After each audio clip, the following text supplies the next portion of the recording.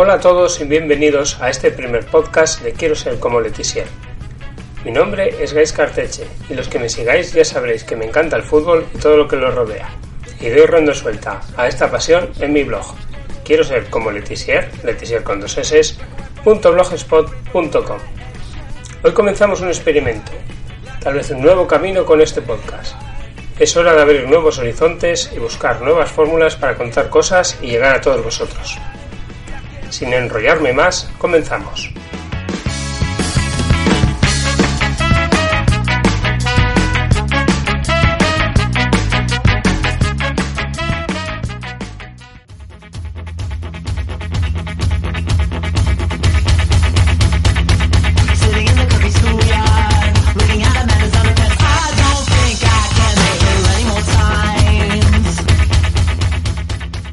Quiero hablaros de Nicolás Stefanelli, joven futbolista argentino que ya ha escrito varias páginas en la historia de este deporte.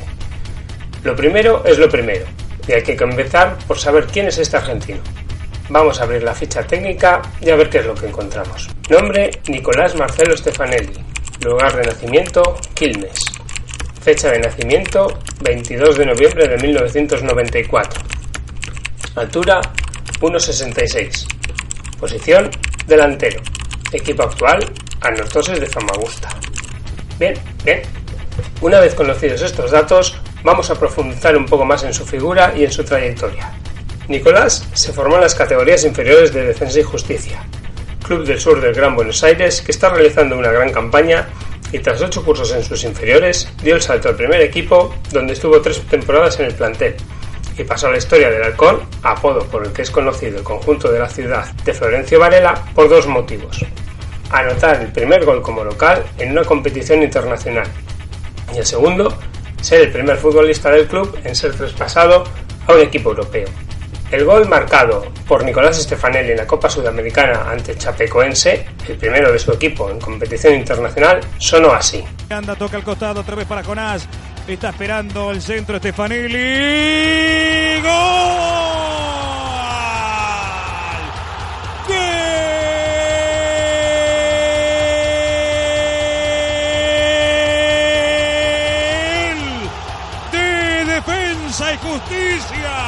En la última jugada de la noche lo merecía. El halcón de Varela vuela alto por Sudamérica. Stefanelli de cabeza, el chiquitito entre los grandotes defensores de Chapecoense que quedaron estancados. El buen centro desde el costado y Stefanelli en el borde del llanto. Stefanelli celebra el gol del triunfo merecido para Defensa y Justicia. 1 a 0, qué lindo que ganar en el final, ¿no? El tanto en el descuento fue el último de Nicolás Stefanelli con la camiseta de Defensa y Justicia, ya que poco después dio el salto a Europa de la mano de Aiko Asolna, que por cierto, como veremos enseguida, se pronuncia Oiko. Así explicaba el propio delantero argentino cómo se produjo el pase y cuáles fueron sus primeras sensaciones. Hace 20 días eh, que bueno que me enteré del, contacto que hubo con el, con el AICO. Eh, tuvimos una reunión y bueno, eh, gracias a Dios ya, ya estoy acá. Un, viaje largo desde, desde Buenos Aires. ¿Qué pensaste en el, en el avión? No, pensaba cómo, cómo iba a ser el recibimiento de la gente, bueno, ya pensando en, en querer jugar mi primer partido pensando en todo lo que, lo que me iba a encontrar y bueno, la verdad que fue, fue todo muy lindo. Sí, sí, bueno, eh, Iván tuvimos una, reunión y él me, me contó bueno, su experiencia acá, que, la gente lo, quiere mucho y, bueno, gran parte de la decisión de, venir acá es gracias a él. Por cierto, el Iván al que se refiere en este audio producido por los servicios de prensa del conjunto sueco es Mauro Iván Óbolo, todo un ídolo en Estocolmo. Óbolo llegó a Loico en 2007 y jugó allí durante dos años y medio. En Estocolmo obtuvo sus dos primeros títulos, la Liga y la Copa de Suecia. En esta competición, en la competición del CAO, marcó el gol de triunfo en la final. Durante aquel periodo fue titular indiscutible y marcó un total de 28 goles en 80 partidos. Durante las primeras semanas de nuestro protagonista de hoy en el país escandinavo, la presencia de su compatriota fue muy importante, ya que fue el nexo entre el recién llegado y su nuevo entorno. Le enseñó todo, desde cómo se conduce hasta cómo juegan los rivales en la liga. Stefanelli debutó con el equipo de Estocolmo el 16 de julio de 2017, dejando muy buenas sensaciones, y ya en su tercer partido marcó su primera diana. Después, en octubre de ese mismo año, llegaría su primer hat-trick, al que sumaría un segundo triplete en julio del 2018 en un choque ante el Bromapol Jarma. El delantero ha dejado huella en la capital de Suecia, y no es extraño escuchar esto en sus gradas.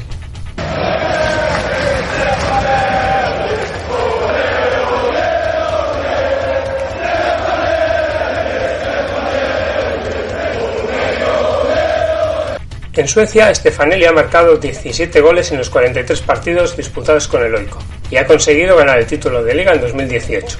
En enero de 2019, sin embargo, ha emprendido una nueva aventura, en esta ocasión en Chipre, ya que estará cedido en el Anortosis de Famagusta hasta junio de este mismo año. Este cambio, de un campeonato como el sueco a un torneo como el chipriota, tal vez un poquito de menor entidad, viene dado por el interés de Björn Westrom, director deportivo de Loico, en que el delantero se revalorice, ya que si bien es cierto que Stefanelli tuvo un impacto importante en sus primeros meses en la capital sueca, en los últimos meses ha perdido peso y presencia en los planes del técnico Ricard Norling.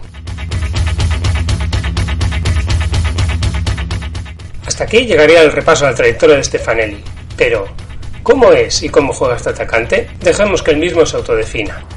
Nada, bueno, un jugador eh, rápido que, le gusta el, arco rival, eh, tratar de, patear cuando, cuando me quede la, oportunidad y bueno, tratar de, de marcar gol.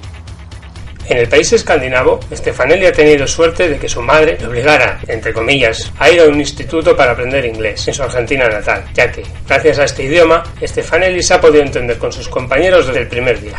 Incluso con algunos como Geno Goitom o Daniel Sundgren se entiende con él en castellano. Nicolás Stefanelli es un futbolista que busca la portería rival y no duda en intentar marcar desde cualquier posición, incluso desde fuera del área gracias a un potente disparo con su pierna derecha. Es listo, intuitivo y ha sabido aprovechar sus cualidades ante defensas físicamente más poderosas. Su corta estatura, recordemos que solo mide 1,66 m le ha obligado a desarrollar una inteligencia futbolística para superar a sus adversarios. Además, él mismo ha reconocido que en Suecia ha aprendido a cuidarse más, a comer mejor, en definitiva, ser un mejor profesional. En lo personal, es un chico tranquilo, al que le gusta tener cerca a su familia y a su perro León, al que adoptó durante su etapa en Campana, cuando estuvo cedido en Villadalmi. Esto ocurrió entre agosto de 2014 y diciembre de 2015. A pesar de la distancia, su familia le visita cada dos o tres meses, y es algo que él valora muchísimo. Habrá que ver cómo evoluciona durante su cesión en el anortosis chipriota, pero su ambición, y si le respetan las lesiones,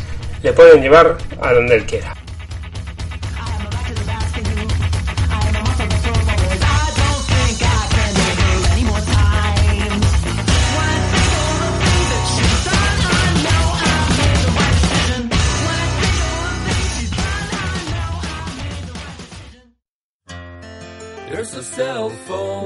Tucked under your pillow. It makes me jump sleep.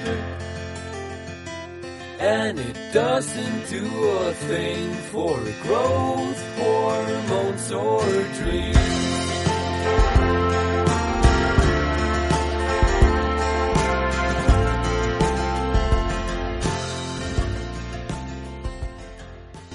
Y hasta aquí ha llegado el primer capítulo de este podcast. Espero que os haya gustado y os animo a dejarme vuestros comentarios o sugerencias tanto en iVoox como en mi cuenta de Twitter, g barra baja arteche, arteche con tx. La semana que viene habrá más y aprovecho para dejaros una cita literaria con el fútbol como protagonista del gran Eduardo Galeano. En su vida un hombre puede cambiar de mujer, de partido político o de religión, pero no puede cambiar de equipo de fútbol. Hasta la semana que viene. On